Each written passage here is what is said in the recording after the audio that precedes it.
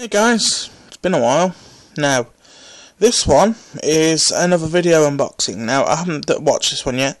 I'm fucking keen to do so, so I'm going to do the unboxing instead. So, I'm going to pull my hand away from the camera now. I've just picked up from Fremantle WWE DVD for all mankind the life and career of Mick Foley. Now, you guys know how much of a big Foley mark I have always been. He was the one of the first wrestlers I really got into, and uh, during that time when he he was forced to retire by that bastard Triple H. Now, uh, I've already taken the DVD out of the wrap, and I've pulled the piece of paper out that came with it because I'm going to use that. I'm going to be able to. I'm going to be able to read to you guys what's on it. I'm going to get a solid shot while I uh, pull the paper up. So disc one is the uh, disc one is the sort of the documentary part of it. It's got a documentary on it, like unlike the other one. So disc one uh, has a happy story, idyllic childhood, huge fan, training school, working the road, WCW, Sting, Vader, ECW in Japan, Mankind, Dude Love, Hell in a Cell, Mr. Socko, The Rock, Author, Triple H, Commissioner, Going Away, Randy Orton, Making a Difference, Edge, retirement, stand up comic, a complete one off. And that's um, the documentary part. Disc 2 is where the matches come in. The first match you've got is from Superstars in September of 1986. You've got Jack Foley and Les Thornton versus the British Bulldogs.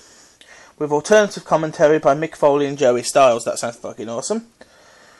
AWA's All Star Wrestling, October 1988. Cactus Jack and Gary Young versus Scott Steiner and Billy Travis. Then you got Wild West Wrestling in April '89. Jack Man- Cactus Jack Manson versus Brickhouse Brown. Power Hour, March 1990. Cactus Jack versus Keith Hart. Cactus Jack versus Sting from November 91. Uh, November 91 is in the Submit or Surrender match. Clash of the Champions from January 92, Falls Count Anywhere, Jack versus Van Hammer. Fort Lauderdale, Florida, Cactus Jack versus the Sandman in a barbed wire match. Cyber Slam, Cactus Jack versus Shane Douglas. Alternative, that's got that one's got alternative commentary. Uh, in your house, Cold Day in Hell, Mankind versus Maivia, and in your house, Canadian Stampede, Stampede, Mankind versus Hunter. And Hearst.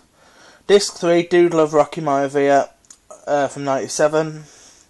Mankind Undertaker, King of the Ring Hell in the Cell. Alternative commentary Foley and Styles, so that'll be good. The alternative commentary on that match will be good, I expect. Mankind and Kane versus the New Age Outlaws from 1998 for the tag titles. In Your House, Rock Bottom, Mankind versus The Rock. Uh, that's in the WWE 13 game, I think.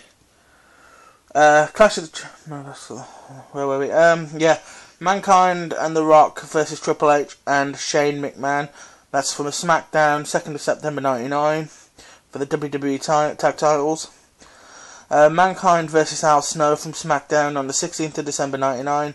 And the last match on the DVD, this is where the DVD's match element ends. No Way Out uh, 27th February 2000. One of the great, one of the um, greatest matches I've ever seen. One of my favourite matches: Cactus Jack versus Triple H in the inside that devilish structure, Hell in a Cell. Now I think this is a cracking DVD. I'm fucking stoked to watch this. Honestly, guys. Um, uh, so I'll, I'll, give you a little bit on that on that last match because um, I, I uh, first watched WWE when I WWF sorry at the time when I was 10. And um, it was at that point when I was 10 years old that I uh, started watching wrestling. And you see, Mick Foley was my childhood hero because of these kind of things. Uh, but that match was sick, uh, great match. Now, obviously, now some people might complain that, well, the DVD ends there and it hasn't got any of his matches from um, you know, uh, what's it called? Uh, One Night Stand 2. Uh, you've got the Edge, the Edge WrestleMania match, and the and the uh, the Randy Orton one. So here's my advice to you guys, right?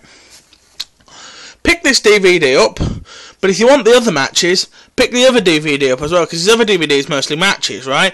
But if you pick up the hardcore edition, it's got those matches you want on it, the Edge and the Randy Orton match, and um, it's relatively easy to pick up ECW One Night Stand um, 2006 as well, uh, and that's you can literally pick that up for a couple of quid. So honestly, guys, if you want the um, the whole career, it's not hard to do. And I mean, guy's worth it. You know, I mean, I've been to see this guy do stand up comedy, and yeah, he is a fucking awesome, awesome person. I mean, he was lovely to meet as well. When I met him, right? Now, I ain't told this story on YouTube, so I'm going to tell it.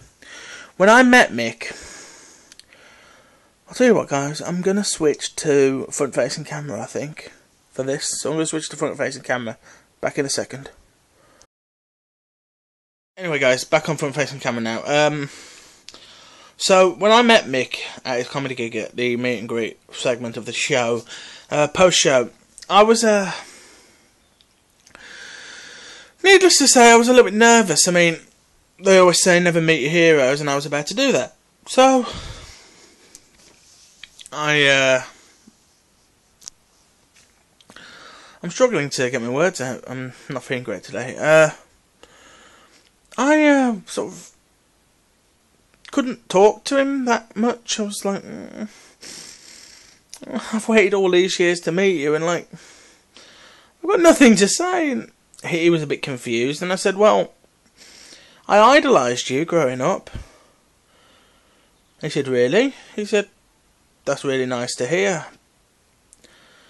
I, I honestly think he was a bit taken aback by my uh, my fanboyishness. You know, I uh, I couldn't get my words out. I uh, you know, I, I felt really bad. I mean, I actually tweeted him post show and apologised for being so. Uh, umming and ahhing and that sort of stuff, you know. And he um, sent me back a, um, he sent me back a PM, DM, DM on Twitter, DM, yeah, um, and said it was nice to meet you. You didn't embarrass yourself, and I mean, that is just you know the kind of person we're we're looking at here. So yeah, honestly, guys, if you want my advice, go out and get that DVD. I got it for 19.99 from www.dvd.com. Uh, remember also, if you go to Silvervision, they are selling out a lot of their stuff, so uh, it is definitely worth going over there to pick up some other stuff. I'll be back with another DVD review next time I get one. I might also talk about this DVD when I've watched it, but for the time being, this is what you're getting. So thank you guys for being here. Love you all.